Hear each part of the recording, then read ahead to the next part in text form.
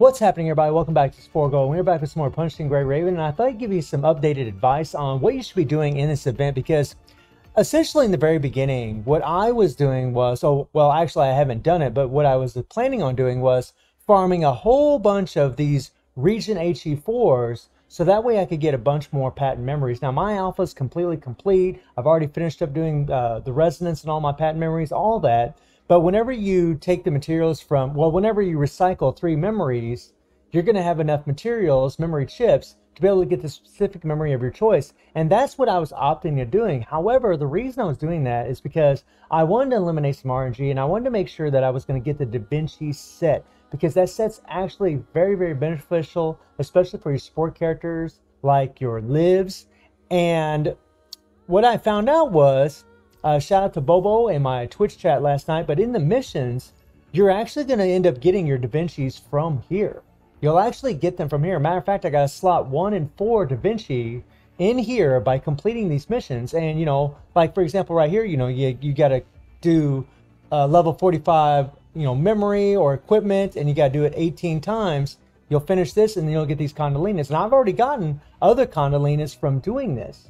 So they're going to essentially give you the memories that you need, especially if you're looking for those Da Vinci's. And maybe you're in a similar situation like me where maybe it'd be better to do something else like just whenever you're farming in the frozen darkness, just use your region HE4s to farm all these other materials like cogs, memories, uh, your overclock materials, uh, maybe you know all these overclock materials right here. Maybe it would be better to do that. And I tell you what, man, I had like you know six thousand of these or what have you, and I ended up pretty much maxing out my Karenina. Look at this, level 45, max overclocked, everything. And on this one here, we'll just go ahead and do this.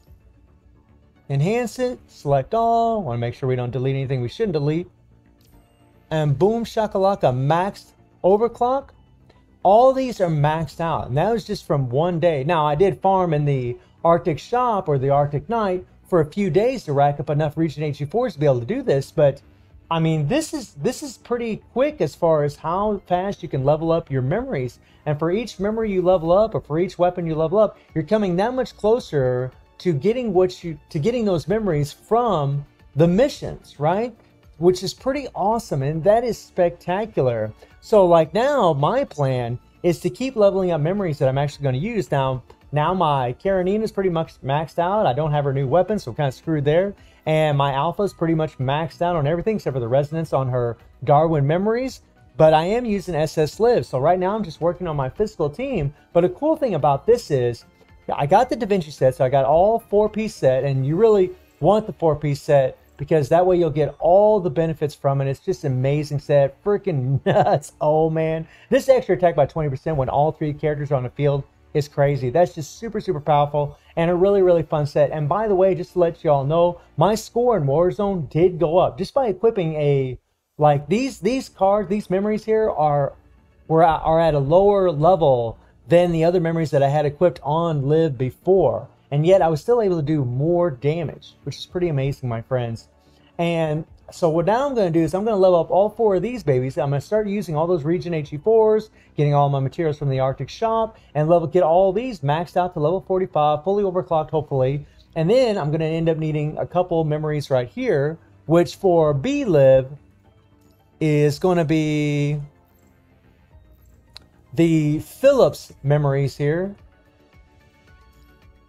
these babies right here because whenever you get a heal, then your, your next healing effect will actually increase your physical damage by 10%, defense by 10% for 5 seconds. So it's a great, great set for support on B list. So you have that Da Vinci set, and then you'll have this set right here. And since we know that S. Bianca will be the next S rank character, lightning based, she's going to be the big dog for lightning uh, damage, well, then you can actually use the Da Vinci set on a-Liv, who does lightning, right? She's a great support for S. Bianca. And you can just run the Da Vinci on A-Liv and then use the Guinevere set instead of the Phillips set on A-Liv because this set actually heals for 10%, right? And you increase the elemental damage and resistances of the healing target by 10% for 5 seconds. So it's pretty much the same thing as the, the Phillips set, except it works for elemental damage, which is perfect for Esbianca, who is a lightning-based character.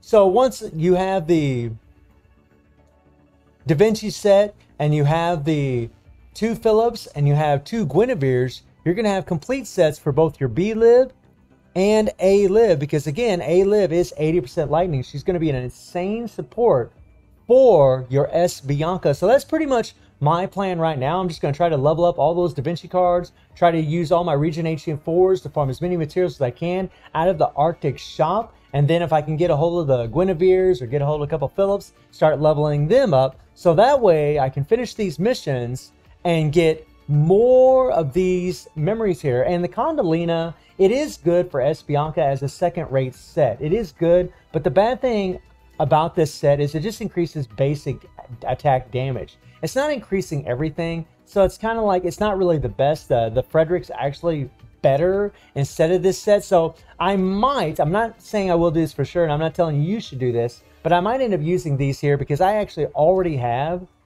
five of these things. I actually already have five of the Condelinas. Or four, I'm sorry, I actually already have four of them. And I'll get two more when I level up a few more memories from the missions. So, I mean, I could easily get two Philips or two Guinevere's, whichever I decide. I'll probably go with Philips because right now I'm trying to develop my physical team. And I could easily get, I'd have six of these. I could just use, recycle all of these, and I'd have enough memory chips to get two Phillips or two Guinevere's. So I might end up doing that because again, the Condelina, it's a decent set, but it's just increasing your basic damage. It's not increasing everything, which is really what you want for your characters. So I just wanted to throw this video out at you guys in hopes to maybe, you know, help you out a little bit. Maybe you're in a similar situation as me and you're really trying to level up those memories because if you do, if you are leveling for your memories and you're you are and you are using all those region HM4s and those Arctic shops, you're going to be able to get all those rewards and resources from the missions. I mean, I'm getting everything from the Arctic Shop, the cogs, the extra memories, the overclock materials, what have you. I'm getting everything from there to level up my current memories on my characters right now. So again, hopefully this will help you out out there. And I do stream on Twitch at 9 p.m. GMT plus 7 time. The link will be in the description below. And I hope you enjoyed the video. Thank you for watching. Y'all take care and have a good one. See ya.